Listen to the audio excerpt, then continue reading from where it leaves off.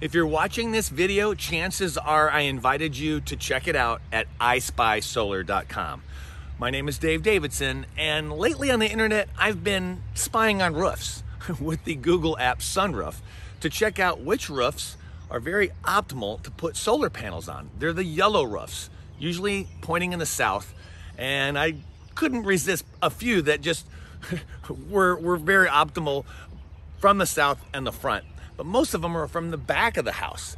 And I chose the uh, energy company Alliant here in Iowa because it's 40% more than the company I'm ditching, which is Mid American. So, what I'm asking you to do is if I spied on your house already, I'm just introducing myself, I'm just a solar rep for, but I took it upon myself to spy on your roof, okay? to tell you and to see that if there was no trees around and I found that slope, you are really, really like a great candidate for solar. And so no doubt if you're using Alliant also, your bills could be lowered every month and you could be part of our zero down way to get solar on your roof and own your own power rather than renting it.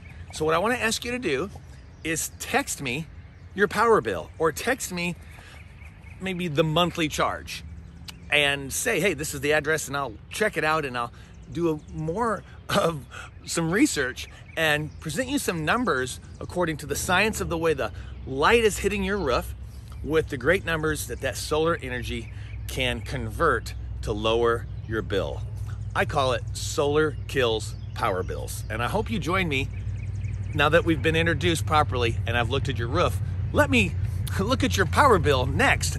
Trust me, I won't pay for it. I'll just see how I can save money for you. All right? Thanks for your time.